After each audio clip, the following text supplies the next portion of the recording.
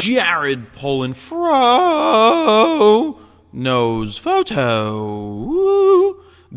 and this is the critique from the photos from January 7th and 8th, where the theme was vintage. I like the critiques this week. There's some really good ones that I chose to go in here. By the way, if you have not voted for the top five, be sure to click the link in the description to go vote for somebody to help them win an Adorama Picks book and also leave a Facebook comment so you may be able to win one yourselves.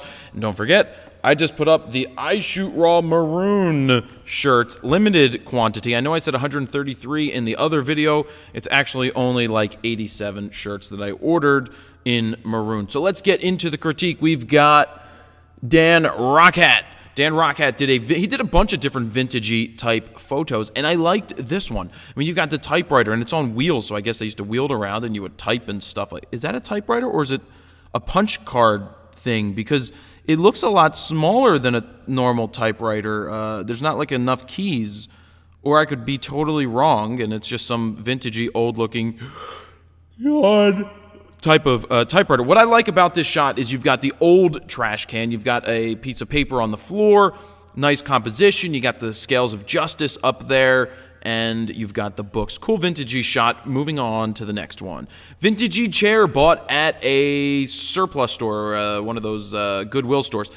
Feedback on this is I could do without the um, the border, even though it gives it that vintagey feel. I just think the border takes away from it. And in this case, the bottom foot is a little too close to the edge. So pulling back a little bit would have given this a little bit better uh, composition. So remember that. Keeping something so close to the edge can sometimes detract from the image. Um, I picked this shot out. Oh, I forgot to give the person's name. It's uh, Dean McCoy, uh, and the new one is Frogs. Frogs. Frogs GZ. What I liked about this is it gives you that 1970s Dirk Diggler type of feel. Reed Rothschild, by the way. Um, it gives you that old, like, hey, we're in the pool and this is an old type of Polaroid color or, or just like old Kodak film. It just gives you that type of feel. It really looks like it's from the 1970s, and that's what I liked about it. Uh, in terms of composition, I think it's a little tough. You cut off the hands and the arm. Sorry, you cut off the arm at the elbow on the one arm. I probably would have had her leaning in on her arms like this or something, or pulled back so you get more of the water in the front. Yawn again. Um, this person, Jason Lemios, Lemios, um, took these in New York. There were a couple of interesting New York shots. This is definitely a 14, 20, uh, I believe a 14 to 24. I would hope it is. Just a really cool shot up in New York. What I like about it is you're up top. The angles are pretty straight. Here comes a sneeze. Nope. Yep. Excuse me. You want to let sneezes out because if you hold them in, they kind of hurt your insides. But when you let out a really good sneeze, it's like freeing. I am free when I sneeze.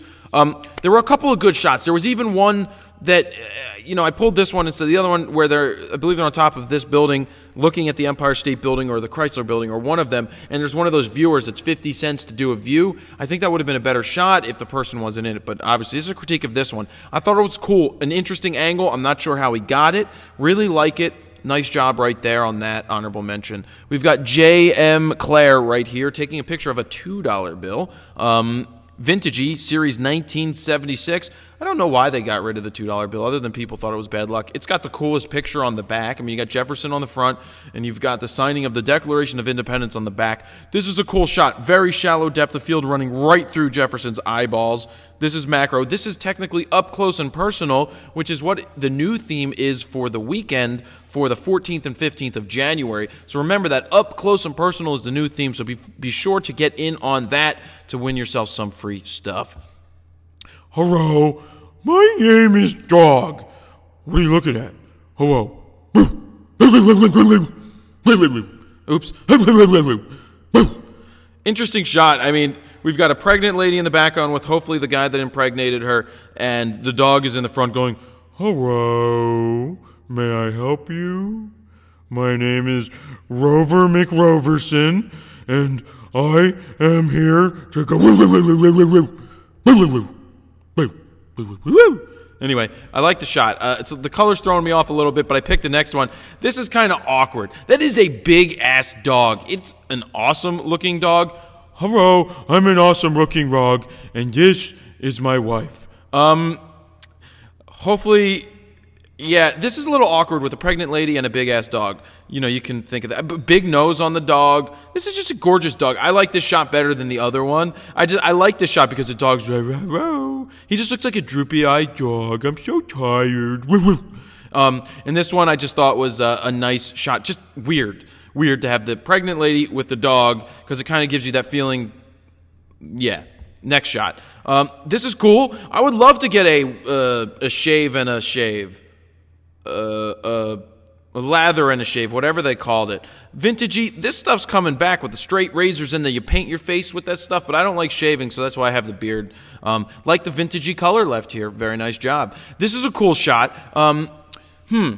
I like the shot. Uh, da, da, da. The color, I, I would like to see a little bit more kick in there with a little bit more contrast. I like the split tone. Really nice job on the split tone. I didn't give the guy's photo the name the last time. This was Lee, and this one was Johan. Um, yeah, I like this shot. It's a very good musician shot. I would like to keep the fingers in here a little more. The fact that those are cut off is a little awkward. I like the guy's hair up here. It kind of looks like Eli Paperboy Reed. If you haven't checked out Eli Paperboy Reed, he's he's got some soulful white boy music, soulful gospel white boy music that's pretty cool from like the 50s kind of sound.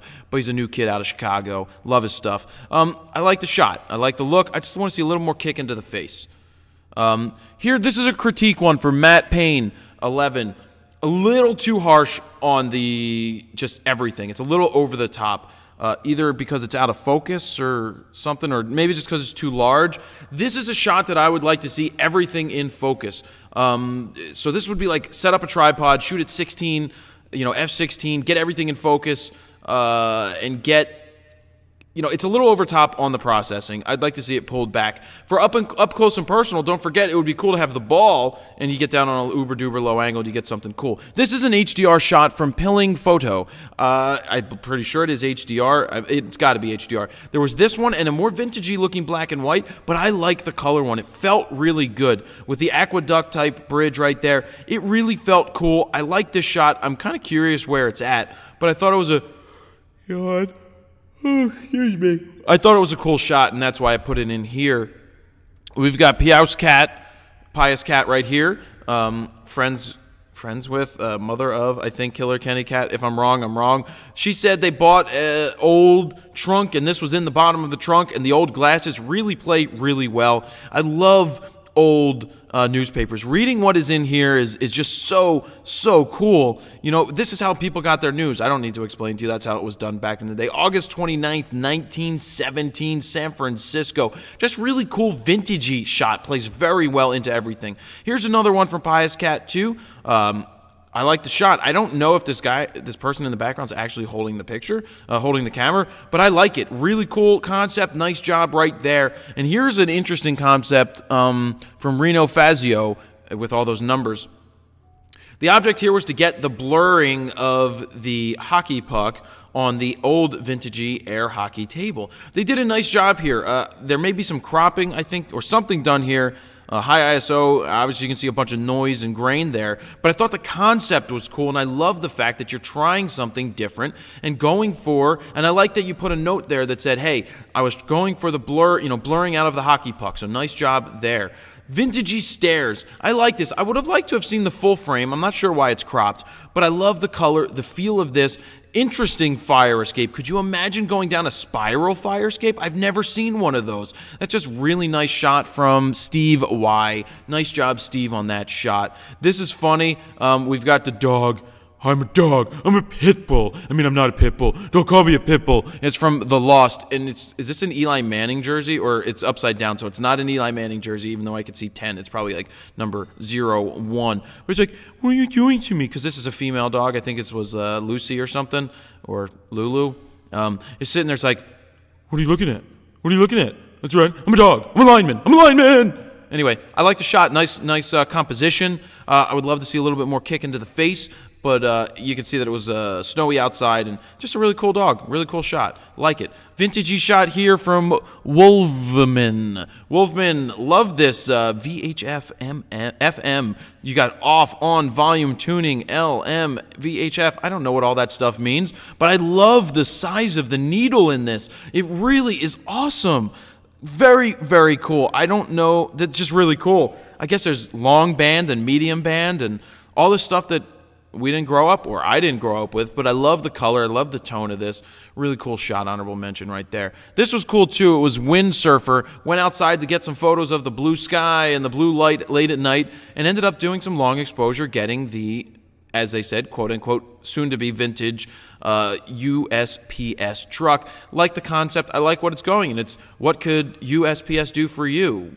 We don't know what they can do for us, but hey, like the shot. Squirrel!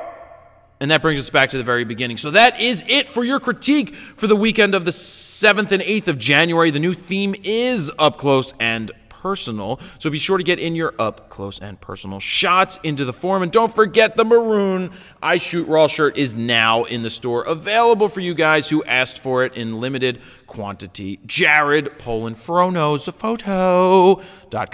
See ya.